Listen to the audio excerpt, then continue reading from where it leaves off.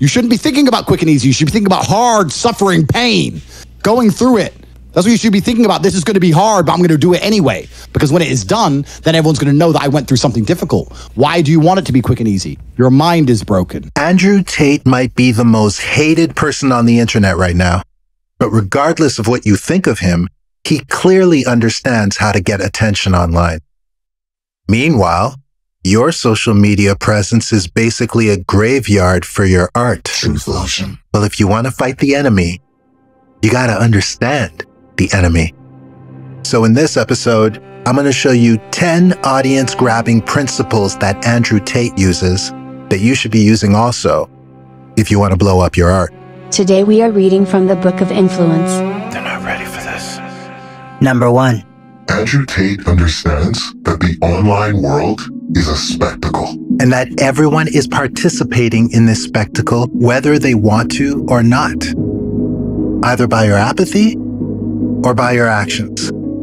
Either by consuming or by producing. Either you're the cause or you're the one getting affected.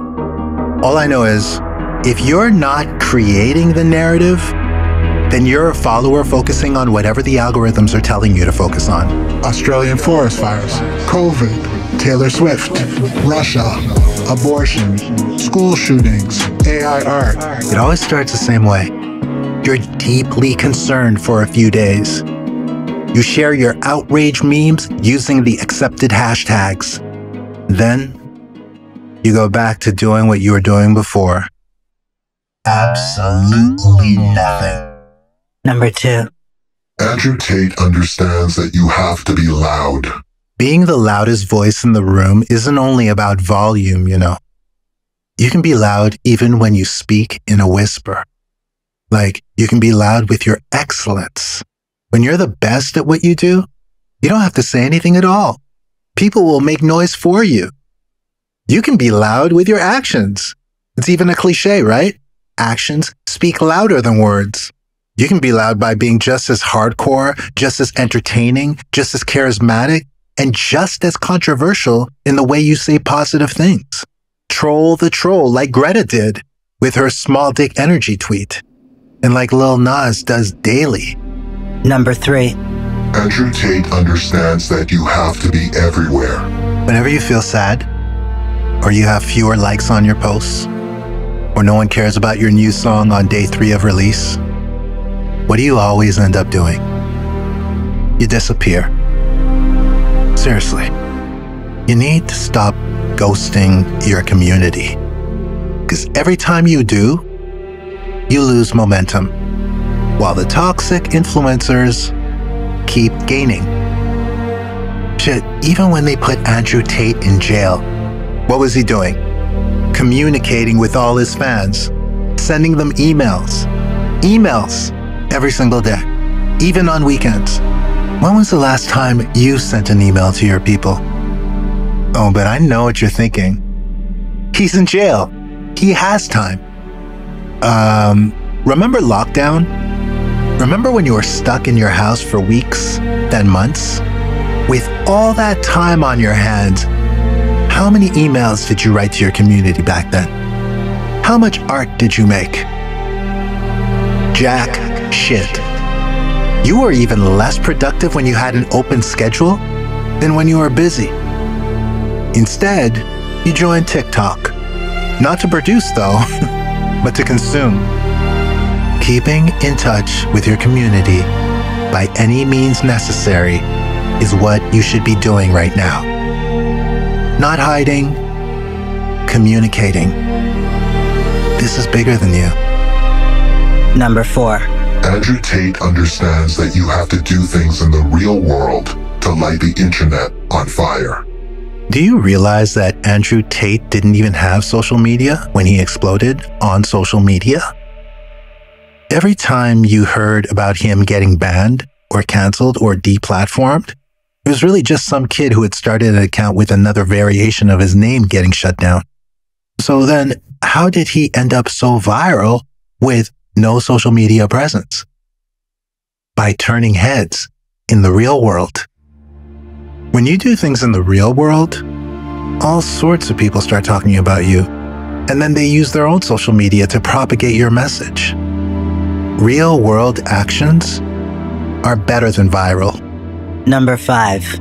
Andrew Tate understands that you have to stand for something.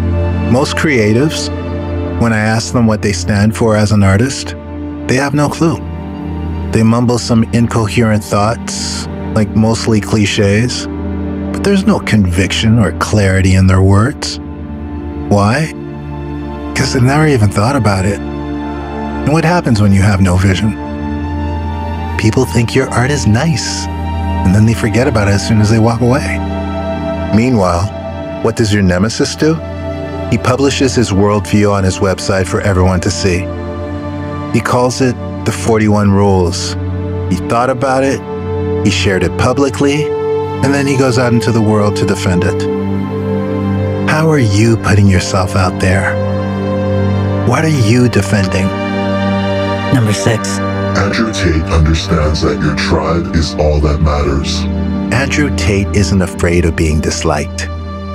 The only opinion he cares about is the opinion of his tribe. If you aren't part of his community, then you're the enemy. Meanwhile, when I ask you who your people are, you say everyone. Everyone? Really? You're that afraid of putting your guts on the line for a small group of ride or dies who share your worldview? Oh, right. You have no worldview. Number 7. Andrew Tate understands the concept of world building. Andrew Tate has created a world. A world with its own lingo. A world with its own heroes and its own enemies.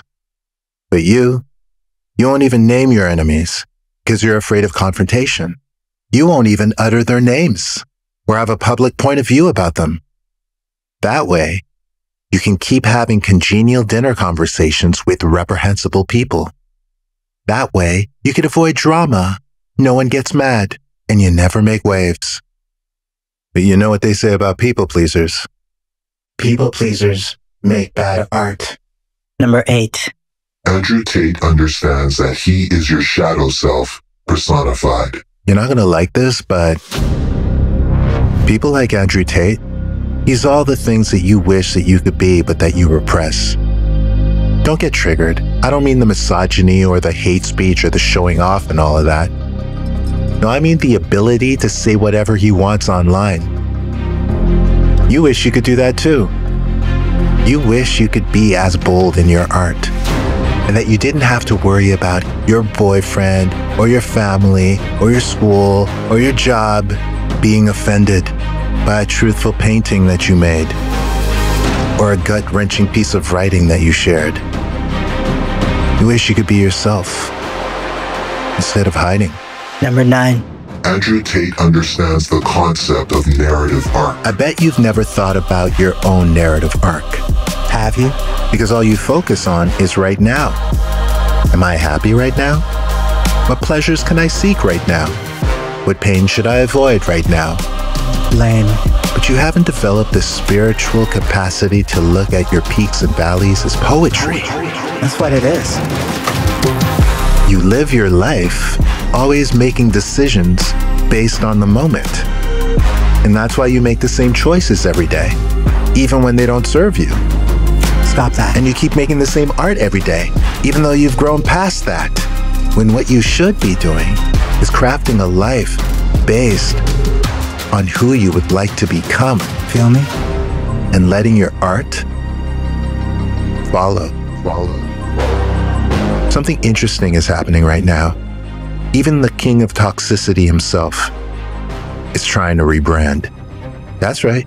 Andrew Tate is trying to pivot into your territory and slowly walking back all those hateful comments that made him famous. Why do you think he's doing that? Number 10. Because even Andrew Tate understands that the only thing more powerful than toxic content is uplifting art that has a message. You can't fight toxic content with the wallpaper you've been making. You see, most of the people saying positive things on the internet are creating wallpaper. They try to say things in a way that doesn't hurt anybody's feelings. And so they end up saying nothing. Words are coming out, but it's glossed over. No, the only counterforce to toxicity will never be that lame, touchy feely soft shit. To uplift the people, to break the internet, you need to make art that contains hardcore, scary to share sometimes, vulnerable as hell, layers of truth. Art that screams, you are not alone, and that speaks to a specific community that's for far too long been ignored. Art that embraces the messy, non perfect side of humanity and allows people to feel whole again. Uplifting art that is Groundbreaking but hopeful, radical but safe. art that is created by an artist who doesn't fucking disappear. Because they don't have to. The energy of what they're doing is all they need to keep them moving forward. When will that artist be you? If you enjoyed this episode and you feel like you're ready to start making uplifting art, then join the Mystery School today at MakeArtNotContent.com.